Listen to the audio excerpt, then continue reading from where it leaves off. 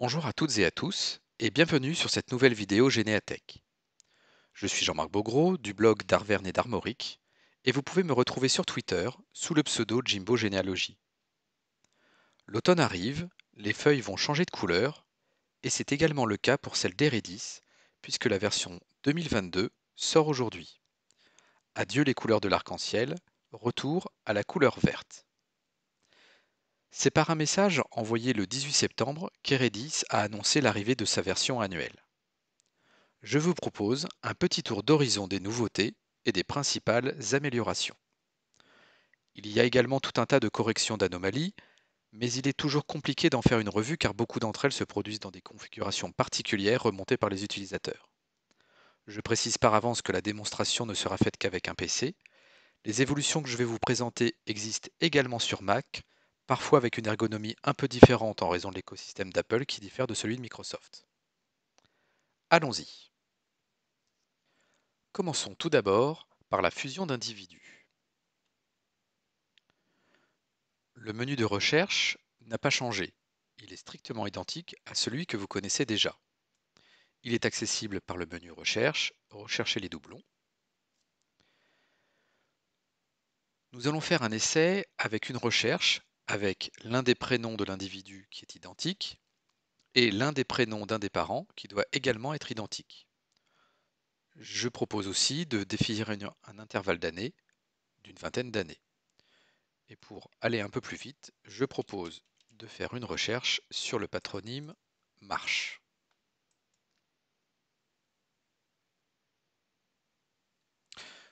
Je commence d'abord par vous montrer le résultat sur Eredis 2021 je vais regarder le cas d'Anne Marche, qui est l'une de mes SOSA, avec un doublon proposé, Anne Marche, en 1855. Nous sommes bien sur Eredis 2021, là on voit bien que la petite euh, feuille est en arc-en-ciel. Et en fait, au moment de la comparaison, on retrouve ici le résumé de chacune des personnes. Basculons maintenant sur la même recherche sur Eredis 2022. Nous sommes revenus sur Eredis 2022. J'ai exactement le même résultat de recherche. On voit bien que nous sommes sur Eredis 2022. La petite feuille est ici verte. On retrouve le résumé comme sur Eredis 2021 pour les deux personnes à comparer.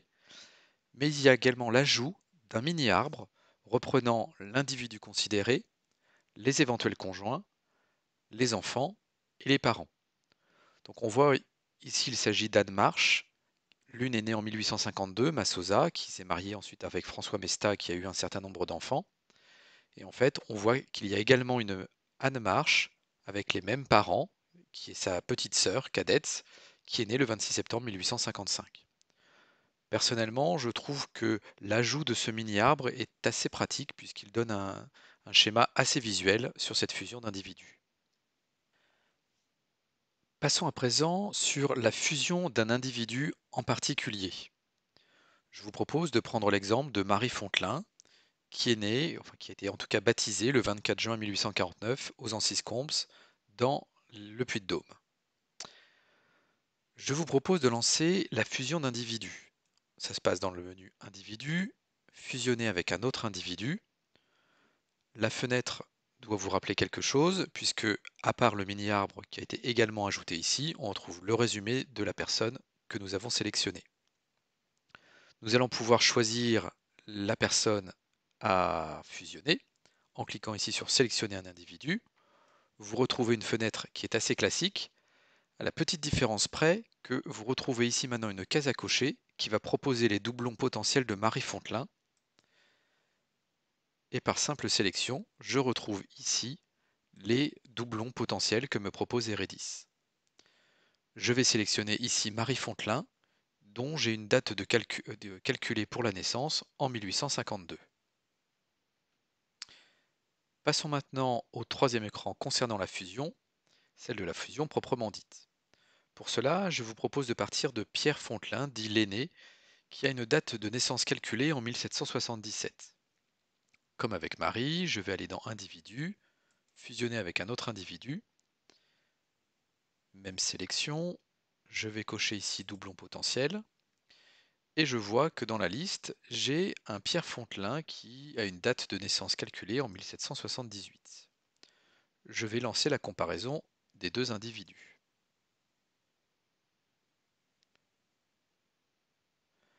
Donc cette fenêtre a été complètement revue.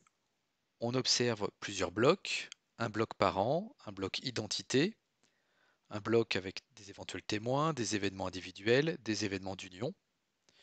Et en face de chacun de ces blocs, vous retrouvez des petites pastilles de couleurs. Vous l'aurez compris, quand c'est vert, tout va bien. Quand c'est rose, il y a quelque chose à faire. On retrouve en bas, à gauche, le pourcentage de comparaison. C'est le fruit d'un calcul d'R10, vous l'aurez compris. Là, nos deux individus sont proches à 95%. L'objectif est d'arriver à 100 pour permettre la fusion. Premier élément d'accroche, on voit que l'un des individus ici ne s'est pas signé, alors que de l'autre, on sait qu'il s'est peut-être signé. Par défaut, dans mon fichier, j'indique toujours qu'un individu s'est peut-être signé. Si je vois qu'il n'a pas su signer, c'est que c'est cette information-là qui a été vue dans un, dans un événement. Donc je choisis ici ne s'est pas signé. Autre point rose, on voit ici qu'au niveau de l'événement naissance, et on l'avait bien vu au moment de la sélection, j'ai l'un des deux qui, a une naissance calculée en 1777, l'autre en 1778. Ça, c'est le résultat euh, d'un calcul de naissance à partir d'un autre événement. Je vais choisir ici 1778. Dernier point de décalage, le domicile. Là, Eredis semble vouloir comparer deux événements domicile, l'un en janvier 1807, l'individu avait 30 ans, c'est pour ça qu'il y avait un calcul en 1777 pour la naissance. Là, un domicile en 1812, un âge sur l'acte de 34 ans, d'où le 1778. Là, bien entendu, comme il s'agit de deux événements domicile, il n'est pas question d'aller fusionner l'un avec l'autre. Donc, pour cet individu, je vais sélectionner aucun pour faire une séparation. Toutes mes petites pastilles sont passées au vert. On voit ici que je suis passé à 100%. Je vais lancer la fusion. J'ai donc bien gardé ici mon Pierre Fontelin dit l'aîné. Et si je vais dans le résultat, je retrouve bien les trois événements domicile. On voyait le 1807 et 1812 nous avons, euh, dont nous avons annulé le remplacement, et un domicile en 1820 qui était déjà créé. Et je retrouve bien ici ma naissance en 1778, comme je l'avais saisi, et l'individu ne s'est pas signé. Pour ma part, cette nouvelle fusion est visuellement plus pratique, notamment grâce à la présence du mini-arbre. La gestion des conflits est intéressante quand on a de nombreux événements à comparer. Il me manque toutefois toujours une fonction sur PC qui existe pourtant sur Mac qui est la possibilité de déclarer des individus comme non doublons. Si je prends l'exemple de Pierre Fontelin, qui est dit l'aîné, j'ai son frère ici, Pierre Fontelin, dit le jeune. Je sais que dès lors que je vais chercher euh, des doublons, Eredis va me proposer les deux, et je voudrais pouvoir déclarer que non, ces deux-là ne sont pas des doublons, et donc qu'ils ne me le proposent pas lors de mes prochaines recherches. On va espérer que ce sera fait dans une prochaine version. Passons maintenant à une autre petite amélioration. Elle concerne euh, ici les subdivisions. À partir de Redis 2022, une subdivision appartient forcément à un lieu. Vous ne pouvez plus avoir de subdivision qui soit orpheline. Euh, par exemple, euh, lorsque vous aviez un événement où une personne était décédée en mer, bah, certaines personnes indiquaient dans la subdivision en mer sans lieu. Donc c'est toujours bien sûr possible. Par contre, ce sera forcément rattaché à une commune. Donc ça, c'est notamment pour faciliter l'import et l'export de ces données, euh, notamment au format GETCOM. L'impact, c'est que si vous ouvrez votre dictionnaire des lieux, vous allez pouvoir observer l'apparition de communes avec des points d'interrogation. Alors ces communes, elles apparaissent pas au hasard. En fait, c'est dès lors que vous avez au moins un événement qui n'a pas de lieu mais qui a une subdivision, Redis a généré en automatique un lieu, point d'interrogation, et avec la subdivision concernée. Pour traiter cela, alors moi j'en ai quatre dans mon fichier au moment de la suite à la conversion de mon, de mon fichier d'Eredis 2021. On peut voir par exemple ici que les deux derniers événements concernent la subdivision Montavert, qui est en fait un lieu dit d'une commune dans le Puy-de-Dôme qui s'appelle les Anciscombes. Comme les deux concernent Montavert, je vais les traiter en une seule fois. Donc je sélectionne mes deux lignes, j'ai cliqué euh, sur les deux lignes en maintenant le bouton euh, majuscule de mon clavier. Je vais aller faire ici le remplacement. Je, je vais rechercher les Anciscombes. Je sélectionne. Je propose de continuer. Et à l'issue de ce rapprochement, j'ai bien mes Anciscombes et j'ai mes deux lieux avec point d'interrogation qui ont disparu de mon dictionnaire. Il ne me reste plus qu'à traiter les deux autres. L'autre avantage de ce mode de fonctionnement, c'est que vous pouvez désormais créer une subdivision directement dans votre dictionnaire, même s'il n'est pas rattaché à un événement. Jusqu'à Redis 2021, dès que vous souhaitiez rajouter une nouvelle subdivision à un lieu, vous étiez obligé d'avoir un événement associé. Là, désormais, par exemple, si je vais sur la commune de Bourbriac, sur lequel j'ai déjà un certain nombre de subdivisions, il est tout à fait possible ici de cliquer sur le plus et d'ajouter une nouvelle euh, subdivision qui ne sera pas rattachée à un événement mais qui sera bien présente dans votre dictionnaire des lieux. Le fait d'être passé sur le dictionnaire des lieux m'offre une bonne transition pour l'évolution suivante, qui est une édition particulière que vous pouvez retrouver dans le menu des nouveautés, les familles de mon village. Vous pouvez aussi retrouver euh, cette euh, nouvelle édition dans le menu Documents, Livres, et dans les paramètres du livre, vous allez trouver ici les familles de mon village. Comme son nom l'indique, c'est une édition qui va vous proposer de sortir la liste de toutes les familles au sein d'un lieu euh, proprement dit. Je vous propose de lancer pour l'exemple le livre Les familles de mon village pour la commune de Pont-Mélevé dans les Côtes d'Armor. Je laisse les options telles qu'elles sont et je clique ici sur éditer. J'ai donc accéléré la vidéo pour éviter le temps d'attente sur la génération du document. Donc voici le document famille de mon village qui s'est ouvert sous Word. Il se décompose en trois parties que je vais dérouler. Donc la première concerne le, lieu lui-même, donc avec les informations du lieu qui ont été saisies dans REDIS. Donc ici on voit le nom complet, la note que j'avais pu saisir, une éventuelle photo. Donc euh, bah, vous pouvez observer au passage que je vais pouvoir la reprendre.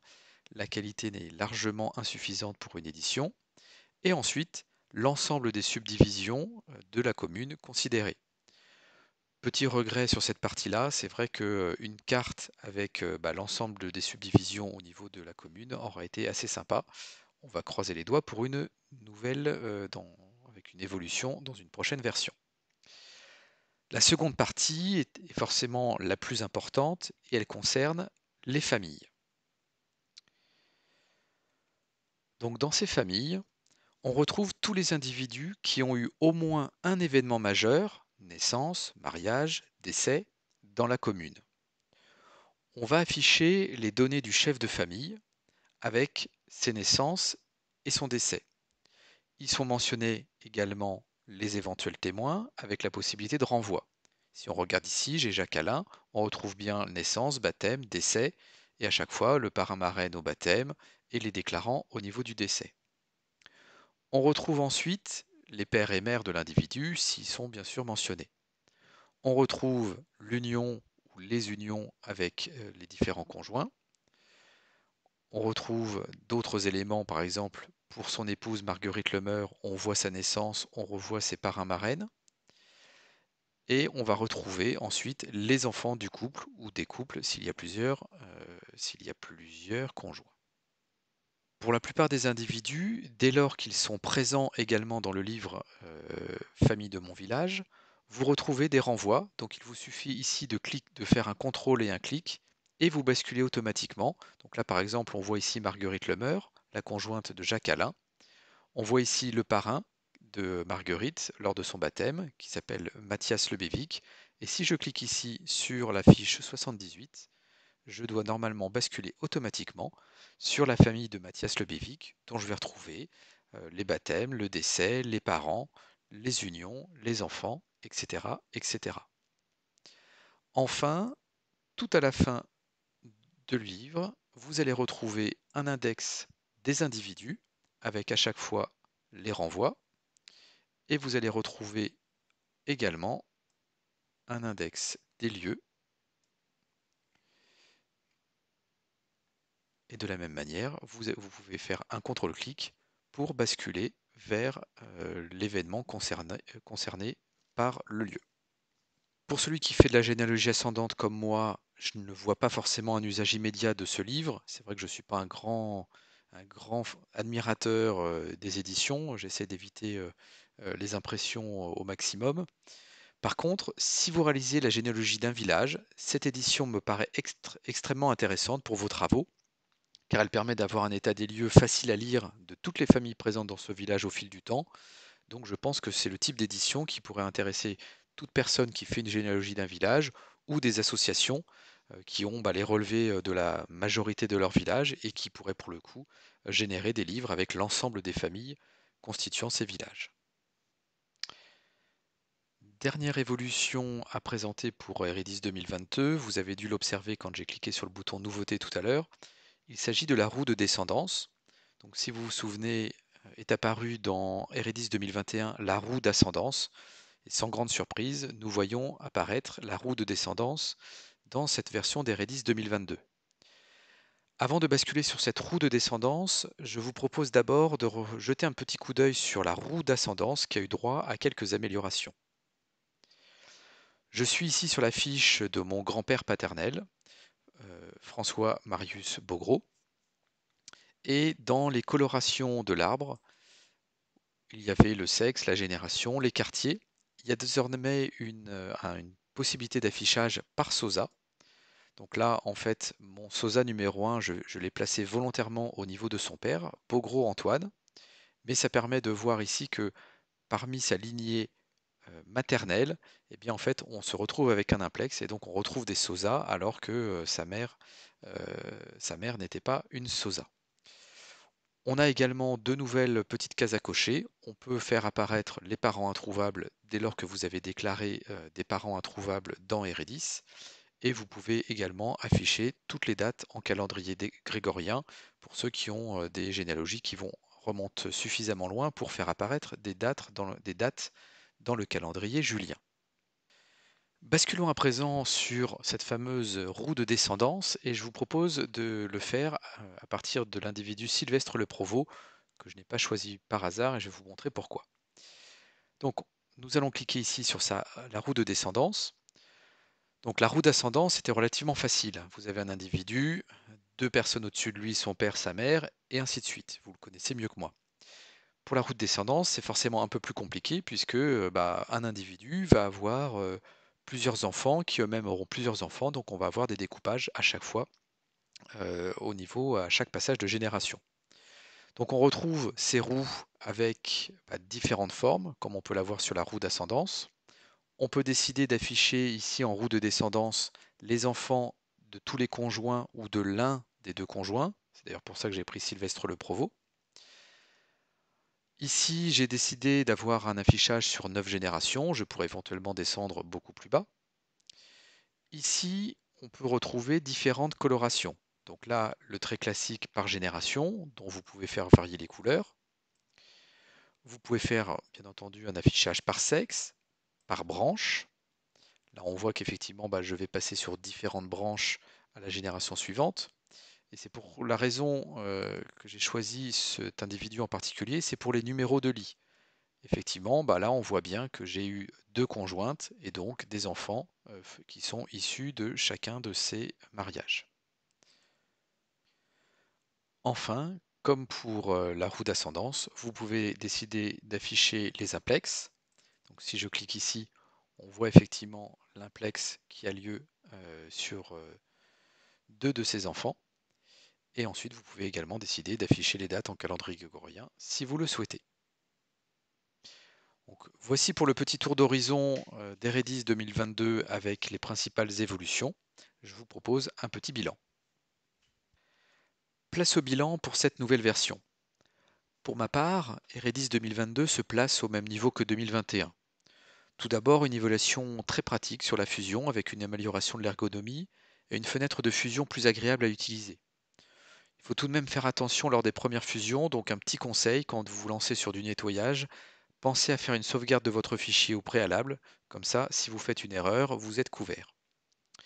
La nouvelle édition Famille de mon village ne me sera pas très utile pour ma généalogie familiale. Par contre, j'avais constitué il y a quelques années un JetCom pour la commune de Pont-Mélevé. Il me reste à le reprendre et justement à sortir l'édition des familles de mon village pour cette commune et voir ce que cela donne. Et au même titre et dans le même ordre d'idées, je pense que cette édition devrait intéresser les cercles généalogiques qui généralement ont pas mal de bases de données liées aux communes. J'avais apprécié la roue d'ascendance euh, avec Eredis 2021 pour son côté visuel et surtout grâce à la possibilité qui m'était offerte de suivre l'avancement de mes recherches en utilisant la possibilité de jouer sur la coloration en fonction de la complétude des individus. Et pour cela, la route descendance sera pour moi un excellent complément. J'espère juste qu'Eredis permettra l'affichage de ces deux roues prochainement dans le nouvel Eredis Online, car je trouve que c'est un excellent complément pour présenter son travail à des amis, à de la famille. Maintenant, il reste la question qu'on se pose à chaque fois, faut-il l'acheter? Est-ce que cela vaut le coup? Et quand je parle de coût, je parle de coût C-O-U-T. Je vais faire à chaque fois euh, la même réponse que je, donne euh, pour chaque sortie.